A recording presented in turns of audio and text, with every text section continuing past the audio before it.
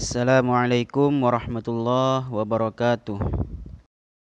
Di sini pengurus Pondok Pesantren Syekhona Muhammad Khalil akan mencontohkan bagaimana cara melakukan pelaporan bagi guru tugas Pondok Pesantren Syekhona Muhammad Khalil. Pertama-tama kita buka browser pada handphone kita. Kemudian kita ketikkan website Pondok Pesantren Syekhona Muhammad Khalil.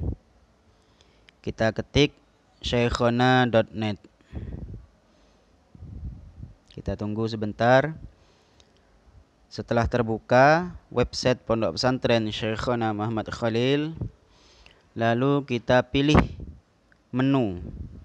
Kita klik menu, maka akan muncul berbagai menu.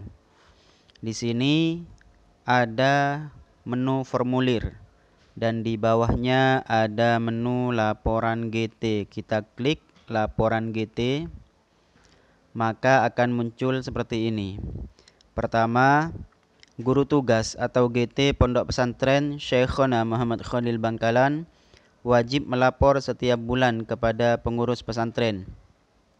Dua, laporan GT dilakukan setiap bulan antara tanggal 1 sampai tanggal 10 bulan Hijriah.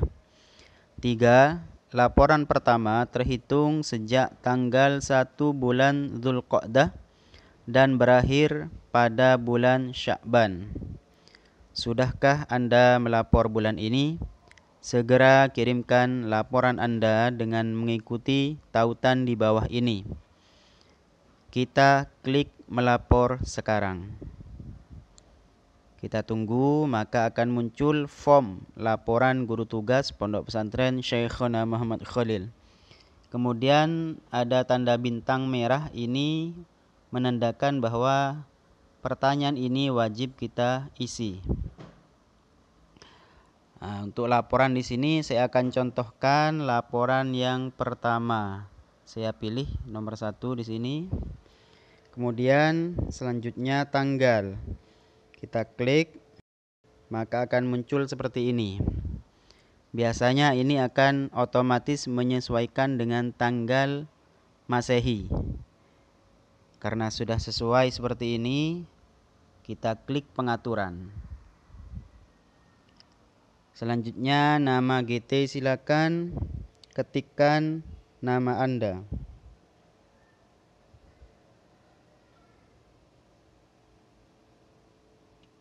Selanjutnya nama PJGT.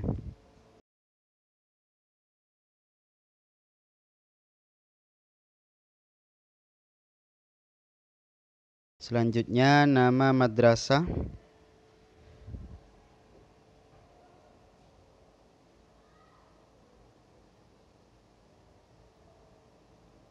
Kemudian alamat madrasah. Ketikkan alamat lengkap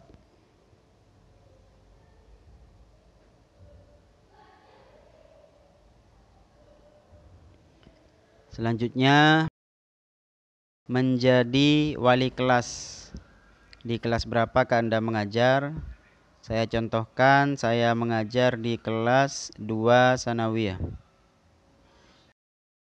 Kalau salah bisa Anda hapus, Anda klik kembali kemudian Anda rubah. Oke, saya mengajar di kelas 2 sanawiyah. Kemudian menjadi guru fak di kelas berapa? Saya ngefak di kelas 3 ibtidaiyah, di kelas 2 sanawiyah dan di kelas 3 aliyah. Kemudian jenis kelamin murid. Murid saya banin dan banat nun balighah, artinya campuran laki-laki dan perempuan dalam satu kelas tapi non balighah. Kalau memang balik silakan Anda pilih banin dan banat balighah. Pernah tidak masuk ini tidak harus diisi. Kalau memang Anda selalu masuk selama sebulan penuh, silahkan ini dikosongkan. Kemudian mengajar Al-Quran. Ya, mengajar kitab apakah Anda mengisi pengajian kitab? Kalau tidak silakan pilih tidak. Kalau iya silakan pilih iya. Menjadi imam sholat Jumat. Silakan dipilih iya atau tidak. Menjadi imam sholat maktubah. Iya. Hubungan dengan PJGT sering, jarang, atau tidak pernah hubungan dengan guru lain, sering, jarang, atau tidak pernah. Tugas tambahan, barangkali PJGT memberi kita tugas tambahan. Semisal mengajar SMP. Usulan atau info kepada pengurus barangkali ada hal-hal yang perlu diketahui oleh pengurus pesantren.